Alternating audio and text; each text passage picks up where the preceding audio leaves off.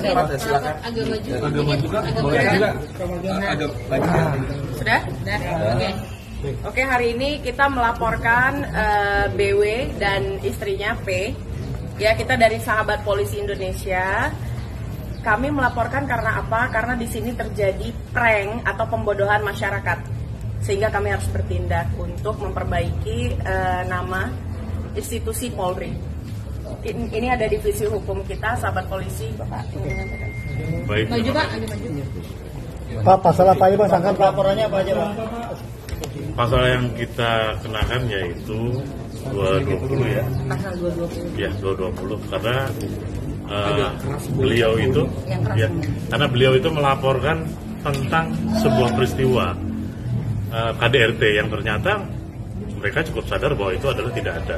Dan ini juga menjadi proses pembelajaran buat kita semua sebagai warga masyarakat jangan bermain-main dengan permasalahan hukum. Apalagi itu dilakukan di kantor polisi.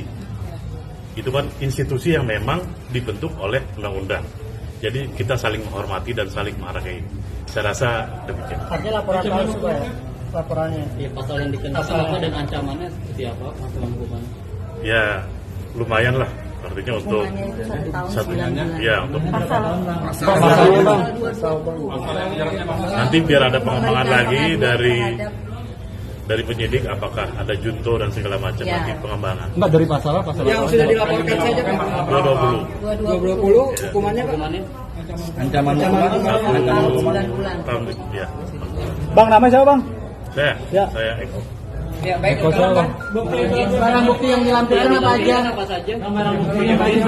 Buktinya udah kita serahkan semua nanti Apaan aja? Apaan aja Bang? Sebutin. berupa berupa apa? ada video tampilan mereka segala Ya. macam itu kan terus bagian daripada Oh, iya. Kakak izin surat laporannya Kak.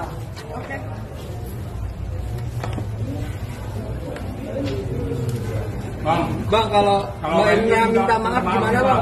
Untuk sementara eh, belum ya, kita masih lanjut proses hukum. Berarti tetap biarpun Mbak minta maaf tetap Ya, dilanjutkan ya, proses hukum. Kak, tahan Kak, bentar tahan Kak.